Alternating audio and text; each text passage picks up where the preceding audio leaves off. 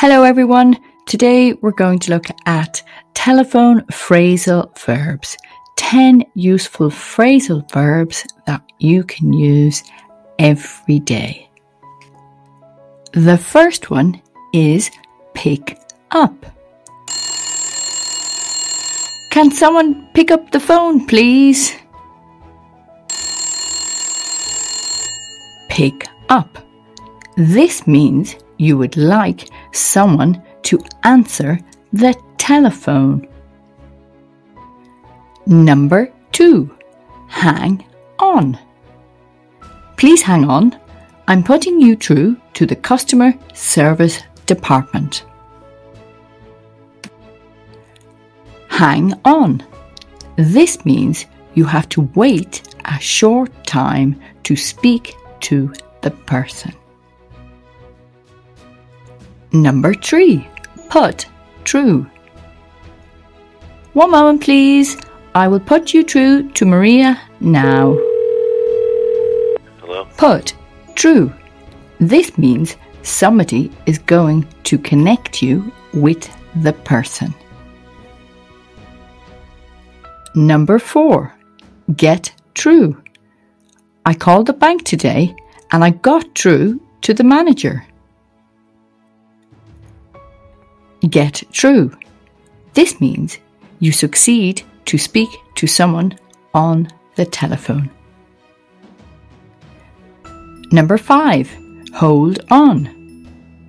Your call is very important. Please hold on. Hold on. This means you have to wait a short time. Number six, hang up. If you would like to make a call, please hang up. Hang up. This means you end the phone call.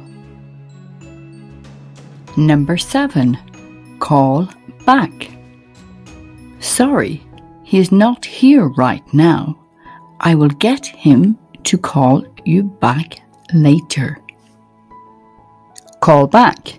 This means the person will phone you again.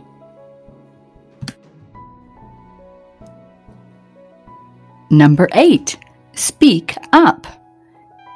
Can you speak up? I cannot hear you. Speak up. This means you need the person to speak louder. Number nine, break up.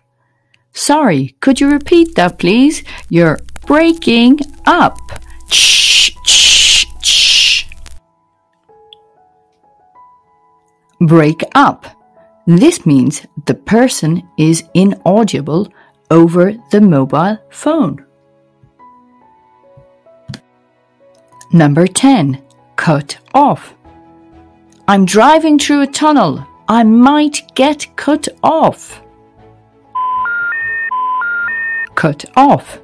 This means the phone call was interrupted. Thank you for watching English Lessons Online.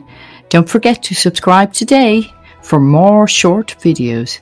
Thank you. Goodbye.